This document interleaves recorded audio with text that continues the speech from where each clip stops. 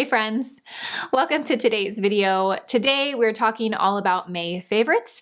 I have quite a bit of fashion, but I do have quite a bit of jewelry to share with you guys. Um, so let's go ahead and dive right in. I do want to say that it's very quite possible that some of these were in last month's favorites, but that's just how it goes. Yeah, I share with you guys what I'm currently loving in the month. I don't have any strategy behind it. I don't see what I shared last month and try and create new things.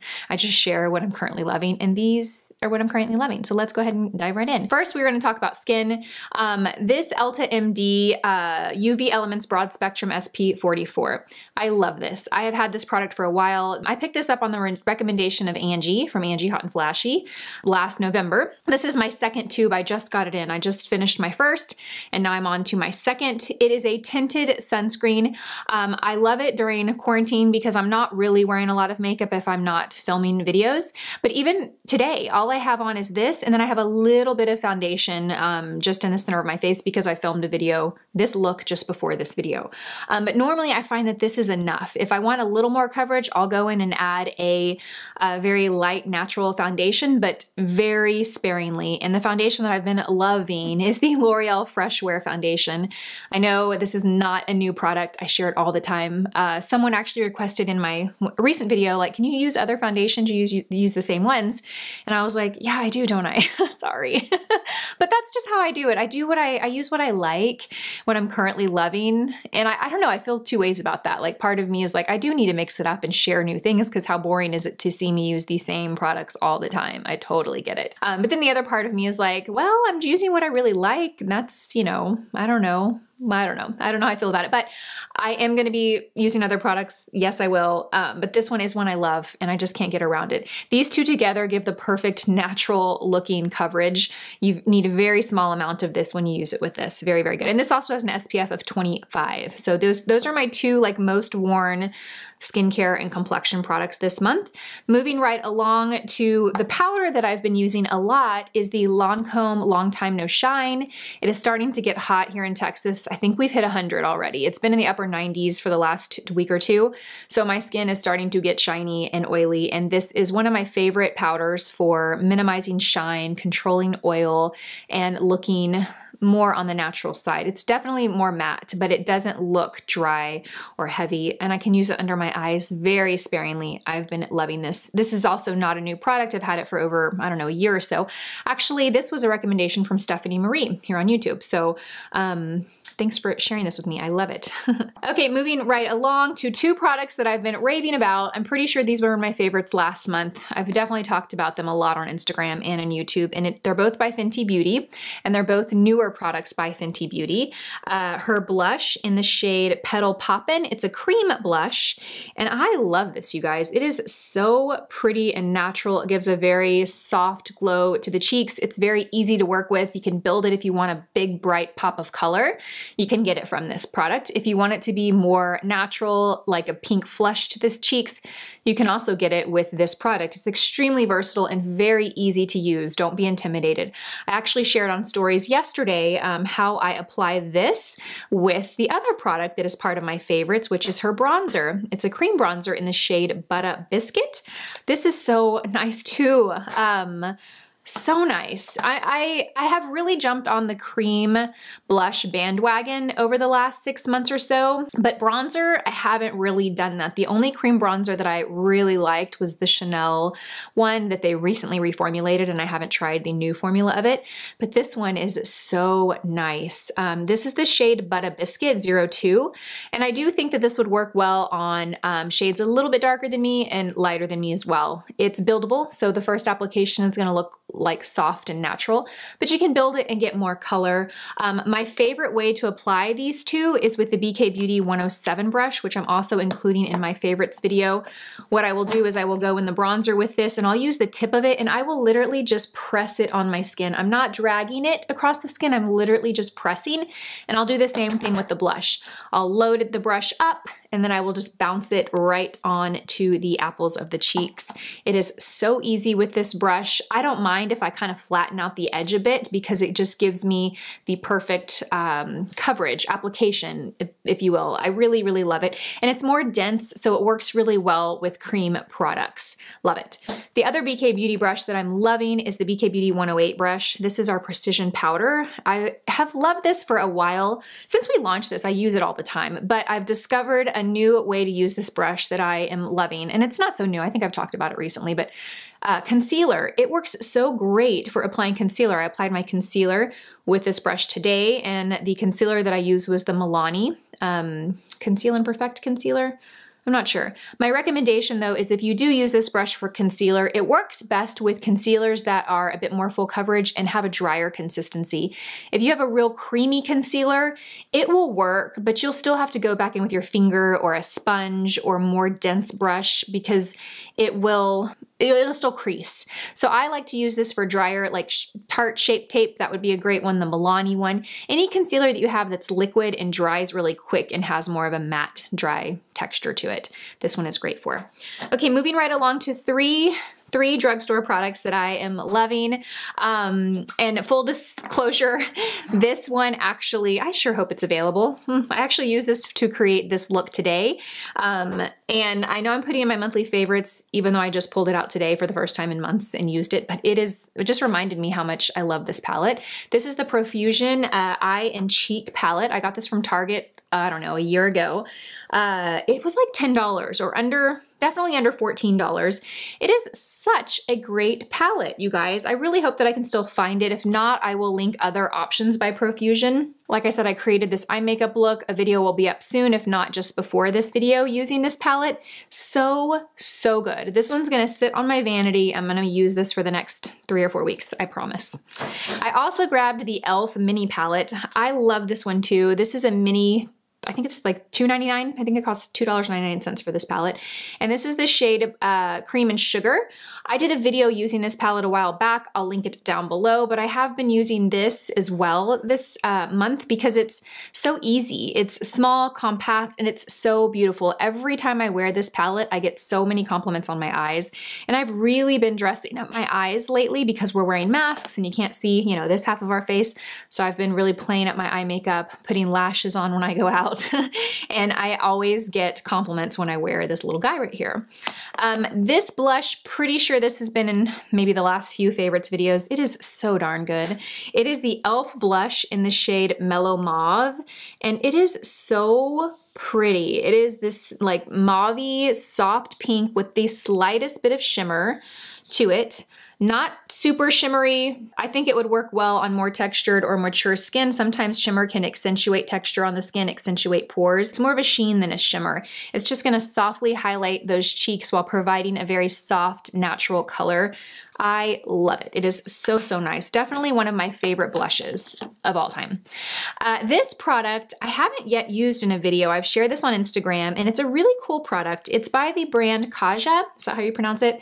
I got this at the Sephora sale in April and it's, I think they're called the Bouncy Eyeshadows or something. And I have the shade Toasted Caramel and it comes with three shades. They're all very, very shimmery. That's the first one. So this is a really easy to wear little trio of shades and I will actually apply these on the eyes with my finger.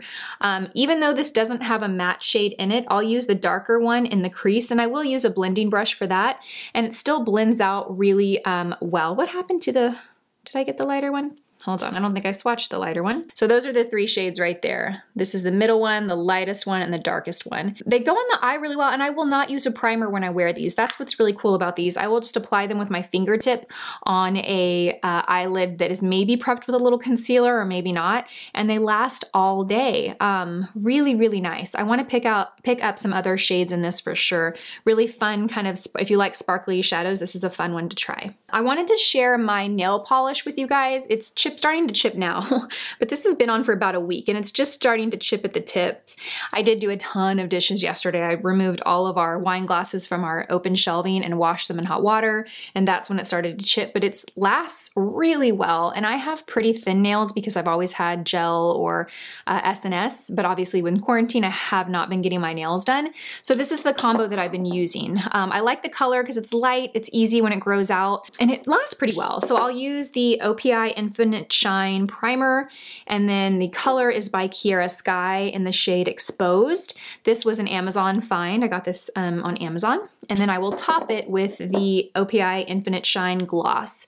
And this combination, like I said, works really well. I typically wear gloves when I wash dishes, um, but if I'm washing something really quick, I usually don't. Yesterday I didn't, and that. But I think this has been on for a solid five days, so that's pretty good for natural polish on nails that are actually thin and weak. All right, you guys, so let's move along to a few quite a few of Kendra Scott pieces that I'm excited to share with you guys. You guys um, know that I'm a Kendra Scott ambassador. She's my favorite jewelry brand and designer. I think 90% of my jewelry downstairs, my collection is all Kendra Scott. And I wanted to share some of her um, current collection pieces that I'm loving. You guys have seen them in videos. It's this these hoops right here.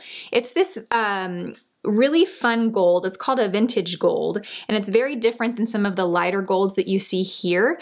Uh, so I love this collection. I love this stone. I love a good classic hoop. It's important for me that my hoops are not heavy. You know, I can't wear a heavy earring. It has to be lightweight. And these make such a statement, but they're so lightweight. So this is part of the collection. I wanna show you some other pieces that came and launched with this collection. You guys saw this ring in my lip and eye and complexion series that I just did, this one right here, it is so beautiful, such a statement. It is also part of the same collection. I love it. I typically don't wear big rings, but this one, I love. I love the color of the gold, that kind of vintage look, and I love the stone, how light and neutral it is. I just think it's such a statement to wear with other pieces that are a little bit more delicate. I love, love, love this.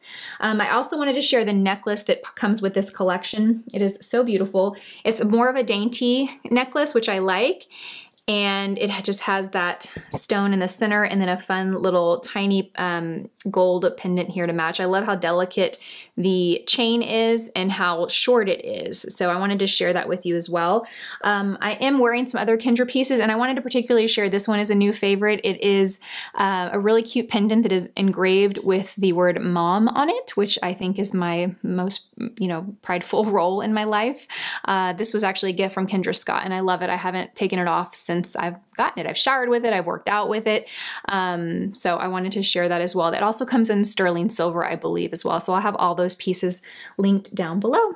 Okay, and last I wanted to share a couple of um, dresses that are really easy to wear, super comfortable, great for this time of the year when it's so hot. In Texas, it is so hot.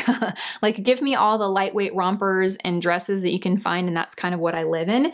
Um, the first one is actually what I have on right now. This is a romper and I will actually post a picture of the model in it so you can see what the bottom looks like, but it's just this black flutter sleeve romper. It ties, so it is shorts um, and it has a ruffle at the bottom. It's really lightweight. I wouldn't say that it's dressy, but it definitely is a bit more dressier than the other two items that I'm gonna show you. This is something that I'll wear when I leave the house for whatever reason. I'm not leaving the house too much, like I'm sure most of you aren't, but when I do have things, appointments or um, things like that, and I wanna put myself together, this is one that I will wear. The other two, um, I also wear outside of the house, but I also wear them a lot at home because they're so comfortable. The first is this, um, uh, is this called a shift dress? It's cotton and it's just this black kind of um, t-shirt material type of uh, dress.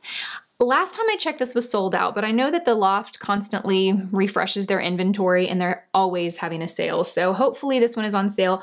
I have a petite small, um, and it's just got this fun little kind of like ruffle tiered, it's like a tiered ruffle dress.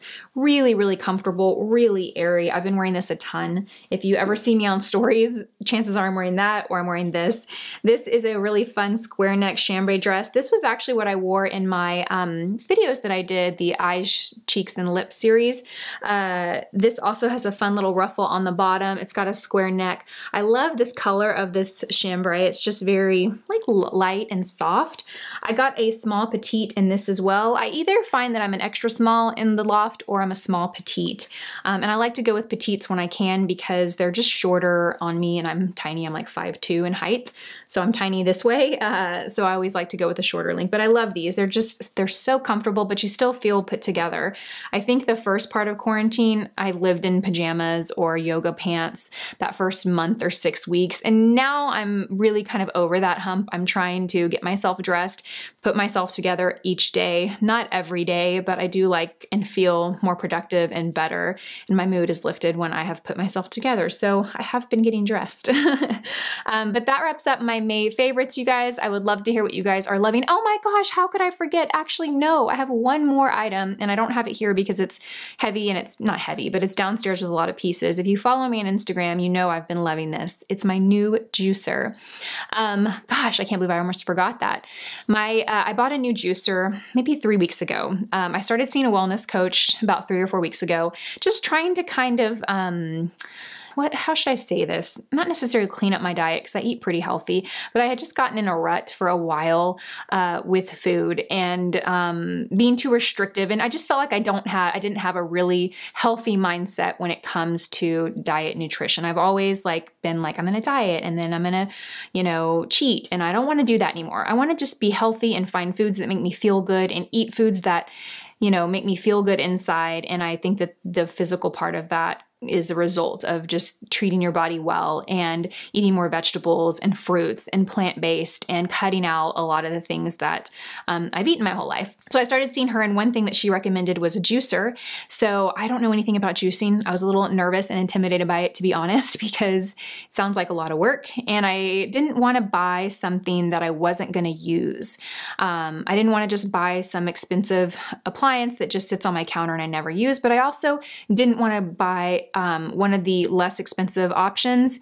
I felt like if I'm going to do this and I'm going to juice every day, like I want a, I want a nice quality piece of equipment. So she recommended one, um, and I purchased it and I love it. I love it. I'm actually gonna do a video kind of what I eat in the day that's more plant-based to share with you guys. I've been eating this way for about three weeks and it has been amazing. I feel so, so good. I cannot tell you how great I feel.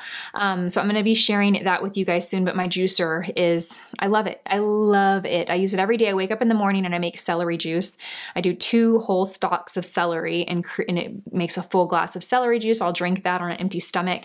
And then 30 minutes later is when I'll start my day and I'll have coffee or breakfast or whatever. Um, and then not every day, but I would say three or four days out of the week, I'll make another juice that day. Um, I'll mix kale, apple, pears, carrots, beets, um, jalapeno, and it is so fun. It is a little bit of work. It does take some time, but I thought that if there's ever a point in my life where I have time at home to do this, it is right now. So that has been definitely my favorite purchase of the month. I've been cooking a lot. I've really been taking the time to prepare my meals in a way that um, is focused on like quality ingredients and health at the forefront and not just convenience. You know, we I just I'm going on a tangent here, you guys. I know I told you I just let you go and I'm going on a tangent. But if this interests you at all, let me know in the comment section below because because I would love to share a video um, more about kind of my journey and, and what led me to um, kind of learn more about this. Uh, but, you know, this whole quarantine has made me realize how busy we were before this, how busy we were, and how much like we had just fallen in this rut of convenience food throw something together quick. I mean, you know, I'm not faulting that because we're just doing what we have to do to get through the day, right?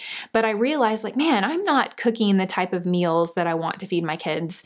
I don't know. I just wanted, I just want them to, and myself too, I want us to, uh, you know, have a really good relationship with food and nutrition and eat the right things and not just you know, so concerned with calories or carbs or sugar or all of that, because that's kind of where my mindset has always been.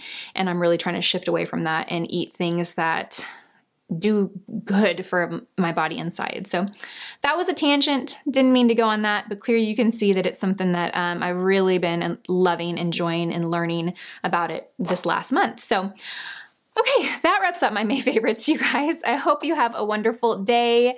As always, uh, thank you guys so much for watching this video, and I will see you guys in my next uh, video. Bye!